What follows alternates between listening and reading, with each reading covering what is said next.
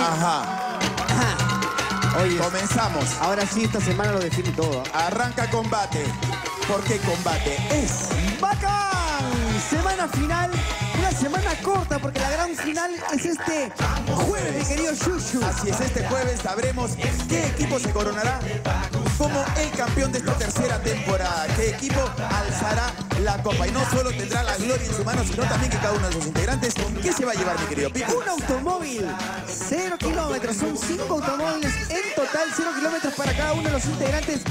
La verdad, nunca antes visto un premio espectacular para esta tercera temporada. Además, los mejores competidores, ya sea el mejor competidor hombre y la mejor competidor mujer, se llevarán un pasaje doble a Santa Marta. Qué bonito, unas playas espectaculares, qué, qué rico, qué delicioso. Pero para esto todavía queda mucha, mucha competencia. Además, siguen las discusiones, siguen los problemas, los enfrentamientos, los dilemas, incluso dilemas este, literarios, si se podría decir. ¿Cómo causa la- ese combate? ¡Ajá! ¿Cómo están? Muy buenas, tardes a todos. Buena, buena, buena, buena, Buena, buenas buena. tardes a ¿Cómo toda la gente que nos sigue todos los días, de lunes a viernes, a partir de las 6 de la tarde, aquí en ATV y a través de tutv.tv, también fuera y dentro del país. Oye, esta discusión de si es o no una obra literaria, después también puede pasarse una figura literaria del cómic.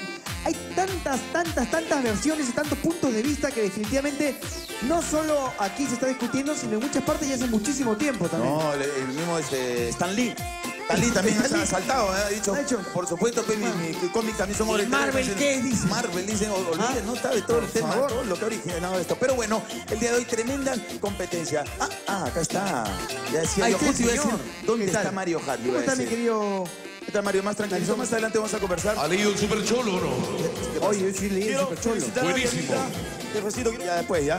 Muy bien, después, ¿qué quiere? Ah, la a Dianita. Sí, quiero felicitar a Anita porque Anita acaba de abrir su nueva tienda de ropas en Jesús María. En el Ah. de Jesús María. Una, Felicitaciones a la chata. una cabecera más. Retomando un poco el tema que habíamos estado tocando. Bueno, Mario Hart al parecer no estuvo de acuerdo con las disculpas del jefe. Vamos a ver el video y luego comentamos esto.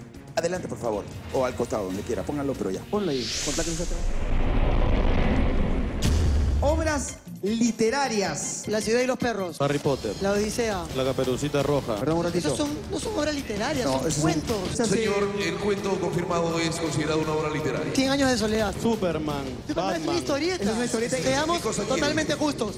Se dijo obras literarias, literarias y se le pasó los cuentos. Pero él dijo Batman, que es una historieta. Por ende, Tú dijiste ya Aquaman. perdió. El orden es que se cambie de categoría y se acabó, señor. Que lo haga otro, no quiero hacerlo yo. Muy bien, Ya que estoy- se ya retire estoy entonces. Va al siguiente. Pierde Muy bien. punto, punto para el equipo ¿Quién verde. viene? Esa prueba la gana el equipo verde. El comportamiento del señor Iribarren no fue el correcto. Cuando uno quiere reclamar algo, lo hace de manera educada, de manera responsable. Mi equipo y yo reconocemos el error realizado en dicha prueba. Por lo tanto, para resarcir este punto, todos los integrantes del equipo rojo van a recibir 100 puntos. Muy bien. Sentí que se hizo justicia y eso me cambió totalmente la Verde no está conforme, ¿no?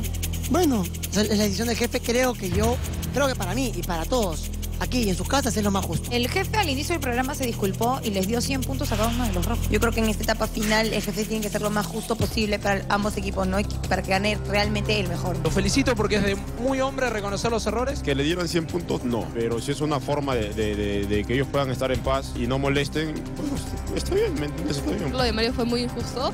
Eh, yo creo que si hubiéramos estado antes, normal, pero ahora estamos una semana en la final y todos estamos que nos esforzamos el doble, el triple y perder por cosas tontas cuando ni siquiera hemos perdido, sino que el jefe cambia para bien de otro, da cólera. Tiene que ser una persona que se tiene que dar cuenta cuando mete la pata. Y ayer la metió, y hoy día también la metió, ¿ah? Después me puse a pensar y dije, si es que ganaban esa prueba, igual perdían el día. Si el jefe decidió darle los 100 puntos, están bien merecidos. ¿Estás de acuerdo con que les hayan dado a cada uno de ellos 100 puntos por lo que pasó ayer? No, ¿Por qué? un cómic sí es considerado una obra literaria. Una obra literaria. Y lo voy a demostrar. Ajá.